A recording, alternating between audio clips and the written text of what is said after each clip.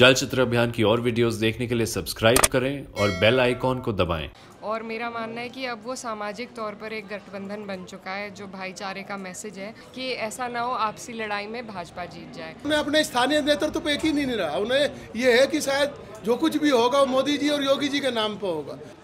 हम अभी शामली ज़िले के कांदला कस्बा में हैं। नगर निकाय चुनाव चल रहे हैं। आज एक बहुत महत्वपूर्ण जनसभा हुई थी जिसमें अ, सपा के शामली अध्यक्ष इकरा हसन और सुधीर पवार जी दोनों आए हैं। बहुत बड़ी संख्या यहाँ पर लोग उस मीटिंग के लिए आए थे। अभी हम बात करेंगे सुधीर पवार साहब से और फिर इकरा से। सुधीर जी सी सी में बहुत बहुत स्वागत। धन्यवाद जी आपका। सुधीर जी क्यों आप यहाँ पर नजमुल साहब आपके उम्मीदवार हैं? क्यों आपको ज़रूरी लगा यहाँ पर उनके समर्थन में आने के लिए? समाजवादी पार्टी इस जनपद में एक अलग तरीके की राजनीति की शुरुआत कर चुकी है। नजमुल जी यहाँ के एक पढ़े लिखे पुराने परिवार से हैं जिन्होंने कांदला और आसपास के क्षेत्र में हमेशा एक सांप्रदायिक सद्भाव की राजनीति की है। हम लोगों ने काफ़ी सर्वे किया काफ़ी लोगों से बातचीत की। उसके बाद ये निकल कर आया कि यदि यहाँ पे ये पर, प्रत्याशी होते हैं उम्मीदवार होते हैं नगर पालिका के अध्यक्ष के लिए तो ना तो उन वो खाली उनकी ईमानदारी और उनकी जो कर्मठता है वो इस कस्बे का फ़ायदा करेगी, बल्कि जो उनका जहनीत है, जो उनका सोच है, वो यहाँ पे सांप्रदायिक सद्भाव को आगे बढ़ाएगी, जिसके लिए लोकदल और समाजवादी पार्टी साथ में है। ये आपने बहुत महत्वपूर्ण बात करी है कि यहाँ पर सांप्रदायिक सौहार्द सुधारने की भी बहुत ज़रूरत है। 2013 में जो फ़िज़ा ख़राब हुई थी, कहीं ना कहीं किसान आंदोलन में थोड़ा सा हमने चीज़ों को बदलते हुए देखा। लेकिन क्योंकि यहाँ पर आप भी जानते हैं, मुझसे बेहतर ही जानते हैं कि आप कैराना से एकरा जी और आ, किस तरह से बार बार कैराना और कांदला को बदनाम करने की कोशिशें की जाती हैं? मुस्लिम अक्सरियत है यहाँ पर इसलिए। आ, किस तरीके से सांप्रदायिक जो एक किस्म की राजनीति हम देख रहे हैं उसको कैसे यहाँ पर रोका जा सकता है? और कैसे वापस मुद्दों की राजनीति हम लोगों के बीच में ला सकते हैं? योगी जी यहाँ पर आए थे तो फिर से उन्होंने यही सांप्रदायिकता फैलाने की बात करी। लेकिन एक हद तक जो हमारा लोकदल और समाजवादी का गठबंधन रहा है, वो कामयाब रहा 2022 में। और मेरा मानना है कि अब वो सामाजिक तौर पर एक गठबंधन बन चुका है जो भाईचारे का मैसेज है। तो काफ़ी सुधार आया है और हम लोग लगातार यही कोशिश कर रहे हैं कि वो बरकरार रहे। अब यहाँ पर जो हमारे प्रत्याशी हैं यहाँ पर कुछ आ, उस तरीके का आ, उनसे तालमेल बन नहीं पाया। तो यहाँ पर पार्टी का निर्णय रहा। हमारे अलग प्रत्याशी हैं लोकदल के अलग हैं। लेकिन हम गठबंधन विचारधारा से दूर नहीं हैं। हालाँकि हमारे जो प्रत्याशी हैं बहुत मज़बूत स्थिति में हैं और सीधी लड़ाई भाजपा से है। तो अ, उनको मजबूती देने के लिए यहाँ पर मुख्यमंत्री जी खुद आ गए। तो इसलिए हम सबको अपने आपसी मतभेद भूल कर बेहतरी की ओर जैसा आप कह रहे हैं मुद्दों की तरफ़ और जो कांदला की बेहतराई के लिए काम कर सके एक यहाँ पर ऐसा माहौल बना सके जिनके सबसे बड़ी बात है कि जिनके यहाँ पर सब लोग आ सकें। लगातार बहुत टाइम से मेहनत कर रहे हैं हमारे प्रत्याशी और यहाँ पर कोई भेदभाव नहीं है। सभी लोगों का आना जाना है सभी का सम्मान है और शिक्षा के फ़ील्ड में भी काफ़ी इनके प्लान्स हैं और पुराना परिवार है हमेशा से कानले की खिदमत में रहा है। तो उम्मीद है कि लोग इस बार अ, बेहतर कैंडिडेट पे फोकस करके और उनको चुनने का काम करेंगे। हम लोग क्योंकि अपनी पार्टी की तरफ़ से यहाँ पर आए हैं, इस सिर्फ़ इसीलिए कि ऐसा ना हो आपसी लड़ाई में भाजपा जीत जाए। तो वही बात है कि वोट ना हमारे बिखरे और यही संदेश देने के लिए लोगों के बीच में। सुधीर जी ये चुनाव बहुत एक किस्म से एक महत्वपूर्ण चुनाव है। आप लोगों के लिए जो उम्मीद थी 2022 के नतीजे, लगभग वो नहीं आ मतलब पश्चिम यूपी में ज़रूर आपकी पिछली बार से स्थिति बेहतर हुई थी, लेकिन वो चुनाव के नतीजे नहीं आ पाए थे। तब से लेकर अब तक क्या कोई आप उसमें बदलाव देख रहे हैं और क्यों देख रहे हैं? हमारी सरकार न आने का लोगों में गुस्सा है और उनके पास अलग अलग वजह हैं गुस्से की। एक तो यह है कि उन्होंने वोट दिया, ईमानदारी से वोट दिया। उसके बाद भी भाजपा पता नहीं ऐसी कौन सी करामात करती है कि लोगों की वोट रिज़ल्ट में नहीं बदलती तो वो गुस्सा है। उस गुस्से का जो नगर पालिका चुनाव है, ये शहरी वर्ग का चुनाव होता है, जब ज़्यादातर शहरी वर्ग है यहाँ पे। भाजपा की एक मजबूरी है कि उनके पास अब स्थानीय नेतृत्व तो खत्म हो चुका। योगी जी का आना यही है कि नगर पालिका कुछ नहीं नगर पालिका जो प्रत्याशी है, उसकी कोई राजनीति में पहचान नहीं है, जो उनका जिला अध्यक्ष है, उसकी कोई पहचान नहीं तो बहुत ही सेंट्रलाइज उन लोगों ने कर लिया। शायद इस इस बात का हम लोगों को फ़ायदा मिलेगा क्योंकि हमारा स्थानीय नेतृत्व, जो नजमुल हसन है, हमारे प्रत्याशी, हमारा स्थानीय नेतृत्व, वो भाजपा को कड़ी टक्कर दे रहा बल्कि जो शीर्ष नेतृत्व है उसके साथ में। जहाँ तक बदलाव की बात है तो मुझे मालूम है, मैं उस समय योजना आयोग में सदस्य था, इन कस्बों को जो पश्चिमी उत्तर प्रदेश के कस्बे हैं, स्पेशली कैराना कांदला, रामपुर, थाना भवन, जितना नगर पालिका ने पैसा मांगा, उतना पैसा उन लोगों को दिया गया। और उस बजट से यहाँ कुछ न कुछ काम भी हुआ, लेकिन जो हमारी उम्मीद थी उससे थोड़ा सा कम है। इस समय हम राज्य सरकार में नहीं है तो हमारी जो प्लान्स हैं, हमारी जो आगे की कार्य योजना है वो नगर पालिका के चेयरमैन या यहाँ के अध्यक्ष तय करेंगे। तो इसीलिए हमने बहुत समझ बूझ करके कैंडिडेट तल, प्रत्याशी अपने तलाश किए। कम जगह पर हम लोग चुनाव लड़ा रहे क्योंकि पश्चिम में लोकदल का आधार ज़्यादा है। हमने उन्हें ज़्यादा सीट दिया। हमारे एक नए सहयोगी जो इस बार हमारे साथ चुनाव में है वो आ, ये आज़ाद समाज पार्टी वो भी हम लोगों के साथ सहयोगी है। इस ज़िले में हम दो सीट पर वो लोग लड़ रहे।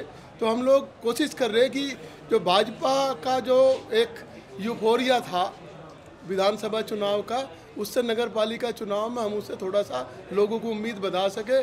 क्योंकि पार्लियामेंट के चुनाव में अब सब जगह गठबंधन की बात हो रही और इस समय का जो माहौल होगा यदि ये कंटिन्यू रह गया, यदि ये निरंतरता में चला गया तो मेरा ये दावा है कि पश्चिम उत्तर प्रदेश में भाजपा को जितनी उनकी इस समय बेचारगी है और जितना उनमें उतावलापन है, वो शायद एक हाँ, मतलब क्योंकि मुख्यमंत्री जी भी यहाँ तक आए हैं योगी जी उसका क्या कारण लग रहा है? उसका तो ये है कि उन्हें अपने स्थानीय नेतृत्व पे एक ही नहीं रहा। उन्हें ये है कि शायद जो कुछ भी होगा वो मोदी जी और योगी जी के नाम पर होगा। तो ये ये स्थिति बड़ी पहले कांग्रेस ने ये स्थिति की कि स्थानीय नेतृत्व तो खत्म किया अब वो स्थानीय नेतृत्व तो खत्म कर रहे तो यदि आप योगी जी के नाम पर ही वोट मांगे तो कहाँ कहाँ वोट मांगेंगे?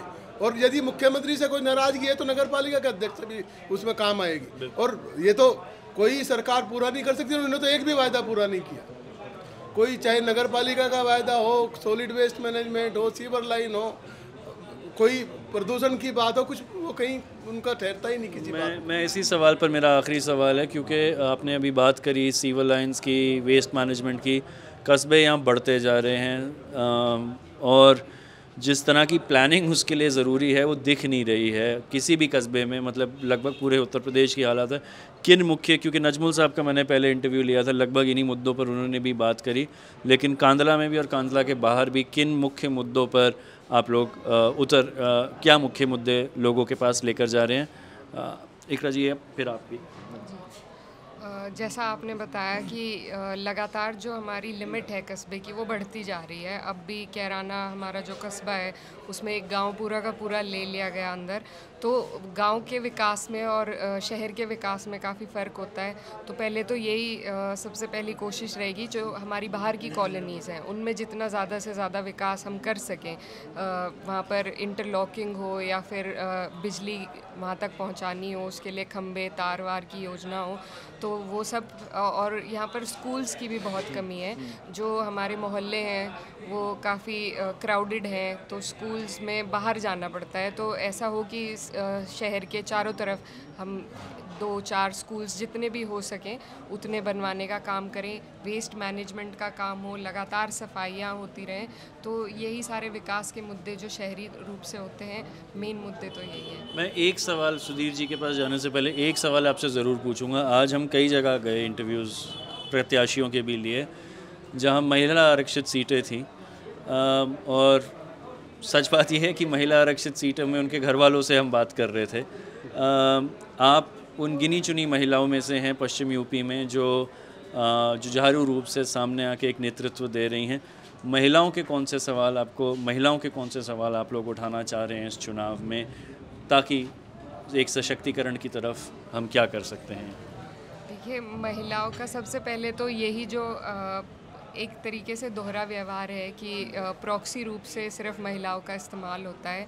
तो इसमें पहले सबसे पहले हमें जागरूकता फैलाने की ज़रूरत है कि वो अपनी ताकत को समझें और क्योंकि 50 परसेंट वोट के हिस्सेदार हम लोग हैं तो हमारे साथ जो ये दोहरा व्यवहार होता है इससे ऊपर उठने की हम सबको ज़रूरत है।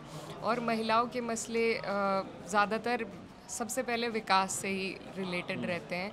तो पहले एक उनका पढ़ाई के लिए सबसे ज़्यादा मैं कहना चाहूँगी कि जब तक हम उन्हें जागरूक पढ़ाई के रूप से नहीं करेंगे तो कहीं ना कहीं स्कूल्स में जो बड़ी उम्र की लड़कियाँ होती हैं जो हाई स्कूल इंटर में होती हैं तो उनको कोएड स्कूल में नहीं भेज सकते।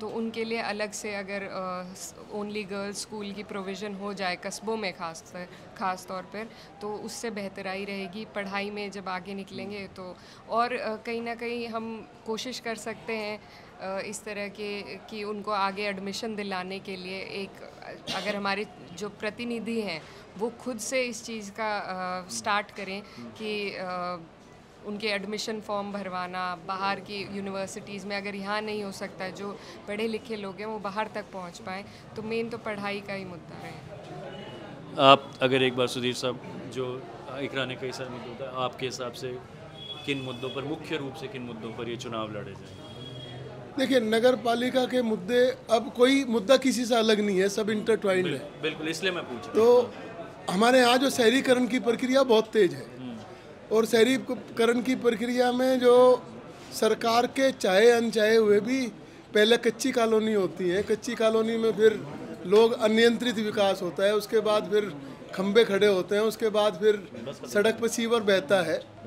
तो ये ज़िम्मेदारी यहाँ की है। लोकल सेल्फ गवर्नमेंट का बिल पास होने के बाद में ये काफ़ी अधिकार मिले नगर पालिकाओं को लेकिन दुर्भाग्य ये रहा कि जो चुनाव लड़े जिन लोगों ने उन चुनाव लड़ने में रिजर्वेशन भी था। जैसा आप बता रहे थे कि महिलाओं को खाली नाम के लिए लड़ा हालाँकि समाज जटिल है तो धीरे धीरे ही चीज़ें बदलाव आते हैं लेकिन काफ़ी बदलाव है इस समय। लो, लोग अपने हक हकूक़ के लिए खड़े हो रहे चाहे वो दलित हों चाहे वो महिलाएँ हों वो अब आगे की बात करते हैं। तो हमें ये यकीन है कि इस बार का जो चुनाव होंगे वो पिछली बार से बेहतर काम करेंगे लोग बाग और उसका सही से उपयोग करें चलिए मुझे पीछे से इशारे आ रहे हैं कि आप लोगों को आगे प्रचार के लिए जाना है तो मैं यहाँ ख़त्म करूँगा। बहुत बहुत शुक्रिया आप सबका और सीसीए के साथ आप सब लोग जुड़े रहें। धन्यवाद।